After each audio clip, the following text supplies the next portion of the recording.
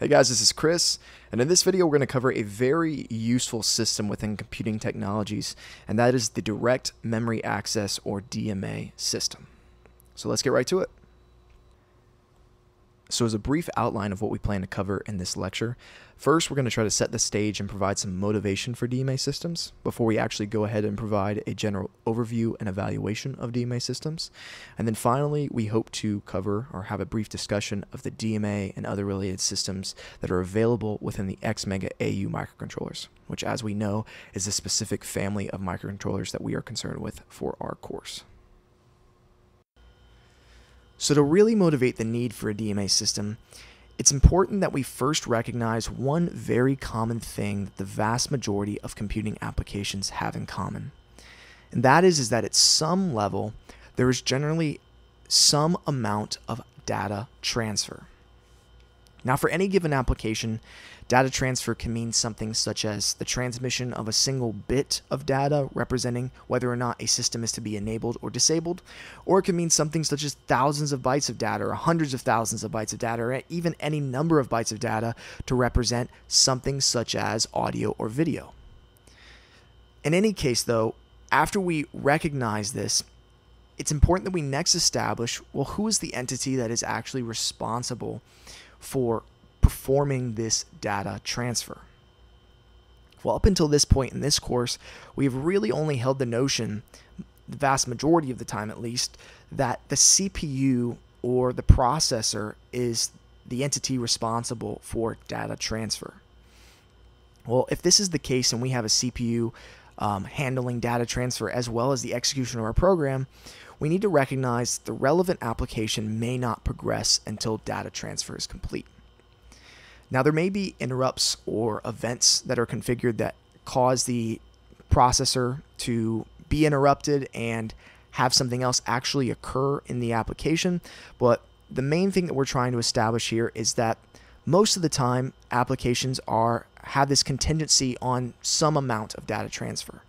So generally we have a condition or a point in our program that we need to wait until either data is received or transmitted before we know what to do next. So, with this understanding, we need to further recognize that depending on the amount and frequency of data transferred, data transmission may easily cause a bottleneck on our program execution. So, in order to solve this, we want to perform data transfer with some system other than a CPU. So, how do we do that? Well, the most common solution is one that utilizes what is known as a direct memory access or DMA system. Now, conventionally, I'm going to define a direct memory access or DMA system as one that is designed for the purposes of independently transferring data between two sets of memories. Now, also in this lecture, I'm going to use the same term, direct memory access or DMA, to refer to the general notion of using a DMA system so that it's easier for me to write as well as explain a few things. So we have already hinted that the main goal for a DMA system is to remove the need for a processing unit to perform data transfer. Now, some other important goals for a DMA system, they're also kind of inherent to this notion of independently performing data transfer, are to reduce or minimize the amount of time required for data transfer, to maximize the possible amount of data that can be transferred, and to also provide a generic configurable interface for performing data transfer. Now, the last one's there because without a generic configurable interface, we would have to individually specialize and specify that when these two systems or memories communicate, they have to communicate with this methodology. And when these other two systems or memories communicate, they have to communicate with this methodology, and so on and so forth. So it would be nice if we had this generic configurable interface for performing data transfer.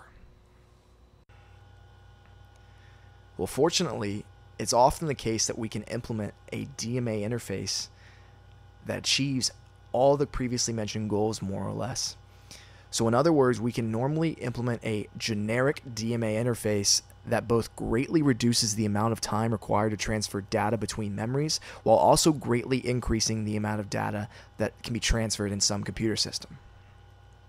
However, even with this, it's unfortunate because most of the time it often turns out that memory components themselves still impose a bottleneck on data transfer. And that's because memory components often cannot perform at the same speeds that something like a processing unit, such as a CPU, can perform at. So, with an, um, an, a bottleneck on data transfer, there's still ultimately a bottleneck on program execution due to data transfer. So, it's unfortunate.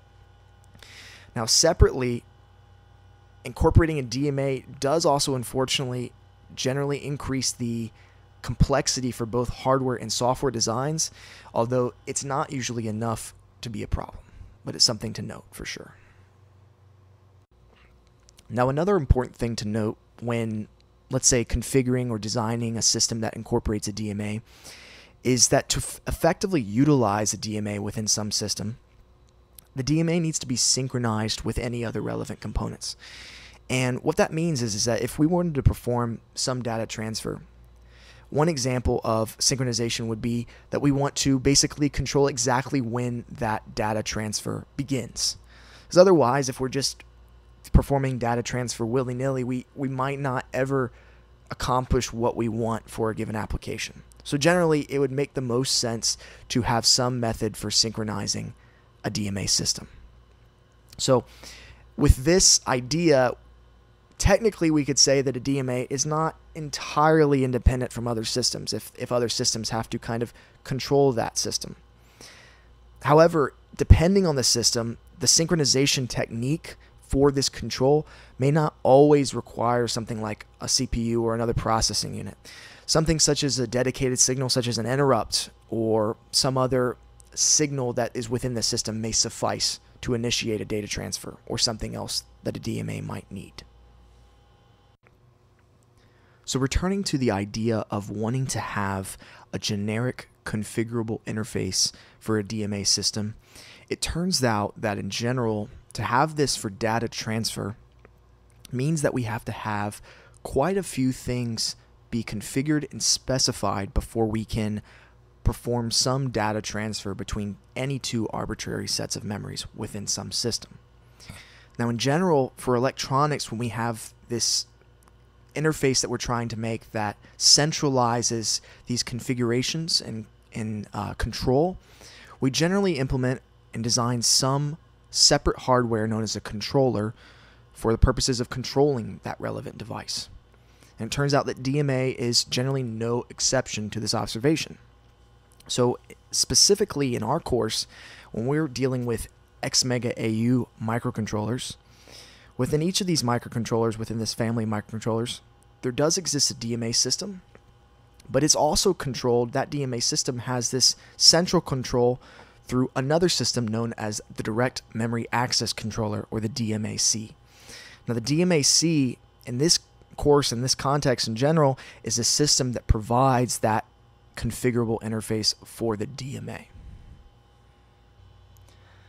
So, using this as a segue, I would like to now, for the remainder of this video, provide us with a discussion involving specifically the DMAC and DMA systems within an XMega AU microcontroller. I want to do this because I want us to hopefully better grasp how a DMA system as well as a DMA controller might be implemented in reality. However, if you if you were to utilize this information, please only supplement it with that of relevant documentation such as a datasheet or a user manual, etc. So as a starting point, we know that the DMAC system within an XMega AU microcontroller is going to be the entry point or the interface for the DMA system within the microcontroller. But what we don't know yet is that the specific DMA system within a, a XMega AU microcontroller actually has four separate communication channels. What that means is that each of these communication channels performs this generic data transfer that we've been discussing up until this point. And beyond that, for any XMega AU microcontroller, each communication channel is capable of transferring any amount of data between any two sets of location in the data memory space, which with this being done via the data bus of the microcontroller. So this means that in our entire 24-bit addressable data memory space, each of these channels can send data from any set of those locations in that entire space to any other set within that entire space, even the same potentially. So it's a very robust system for implementing such a data transfer in a generic fashion. Now, what this means is, moreover, is that we're recalling that our peripheral systems within our microcontroller are memory mapped, meaning that the actual configuration registers and the memory used for each system is stored in memory in that 24 bit addressable space. We could use DMA to configure each one of our peripheral systems, or all of them for that matter. Additionally, one crucial thing to highlight from that last slide is that the DMA communication channels utilize the data bus of the microcontroller. This is the same data bus that the CPU utilizes. So we have to recognize that with this sharing of the data bus between DMA communication channels and the CPU, there may easily be the case that the CPU needs to utilize the data bus during a DMA data transfer. I mean, we only have four communication channels for the DMA. We can easily think of an application that needs more than four different types of data transfer. So in these cases, we need to figure out if CPU needs a data bus during some DMA transfer, when does the CPU actually transfer its data? So it actually turns out that it is defined that the CPU has priority in these cases.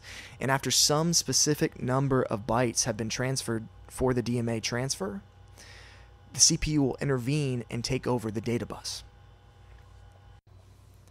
Now, this number of bytes of data that is guaranteed to be transferred via the DMA before CPU intervention is even possible is referred to as a burst in XMega AU documentation. Now, specifically, a burst may be configured to consist of either 1, 2, 4, or 8 bytes. And in general, a burst is considered in this context and in this system of an XMega AU to be the fundamental unit of a DMA transfer. Now, there are essentially two other additional units of a DMA transfer in the context of an XMega AU microcontroller, and they are a data block and a transaction. Essentially, a data block is just an ordered sequence of some number of bytes, where this number of bytes is between 1 and 65,535. And essentially, a transaction is just an ordered sequence of some number of data blocks, where this number of data blocks is between 1 and 255. Now, more generally, we can also define or think of a DMA transaction as a complete DMA read and write operation between the two relevant sets of memory locations within our data memory space. Now in this next slide, we see a depiction of one specific instance of the three types of units that we previously discussed. And more specifically, we see that for every burst, there are four bytes. For every block, there are 12 bytes or three bursts. And for every transaction, there are two blocks. Now, again, this is one very specific instance of how these three units could be instantiated or configured, but nevertheless, it is such an example. Now, a couple other things to note that are mentioned in the documentation are that the specific address within the data memory space from where data is to be retrieved is referred to as the source address, and conversely, the specific address within the data memory space to where data is to be transferred is referred to as the destination address. Now, both the source and destination addresses can either be incremented, decremented, or remain constant during some data transfer. And additionally, they can both be reset to an initial value after some burst, block, or transaction during some DMA data transfer. Another important thing to note is that for each communication channel within the DMA, data transfers can be requested either directly by the CPU or by a signal available within a set of specific predefined interrupt and event signals. Now, this set of predefined interrupt and event signals is well defined within the 8331 manual and can't be altered. Unfortunately, it doesn't include all of the generally available interrupt and event signals within an XMega AU microcontroller. However, there are a good amount of options for the purposes of triggering some DMA data transfer. For an example of such an interrupt um, signal that could be used, we could utilize an overflow condition for some timer counter module to trigger some data transfer to ultimately cause data to be transferred at some periodic rate, which could be very useful for a wide variety of applications. Now, beyond this, some other notable features of these systems include a single shot or single burst data transfer mode. Now, essentially, this mode just causes a single burst and only a single burst of data to be transferred upon every single DMA transfer request. Now, another useful feature, depending on the application, would be to potentially double buffer DMA channels. And this causes DMA channels to be interlinked, and this can be very useful for whenever there's a need for some continual data transfer for any applications, maybe for audio or video applications or anything of that sort. And finally, another feature to note is that when utilizing more than um, one DMA channel, which again we only have four, but when utilizing more than one, there generally needs to be some priority scheme to determine which channel is to perform data transfer if multiple are to perform data transfer at one given moment in time. So this DMA system, the DMA-C more specifically, allows the possibility for configuration of these DMA channels in regard to priority. So we have actually covered quite a bit of material in this lecture. Um, as a review, we first discussed the general notion of DMA systems and DMA controllers. And then eventually we ended up providing a brief overview of the DMA C and DMA systems within the XMega AU microcontrollers. Now, realistically, there's still much more to learn in regard to DMA systems and DMA controllers, and especially the specific implementation details of the DMA C and DMA systems of the XMega AU microcontrollers. So, in your learning endeavors, please just use this as a supplement for any other information that you are researching and any other trial and error implementations that you design. But I hope this helped, and until next time, I'll see you guys later.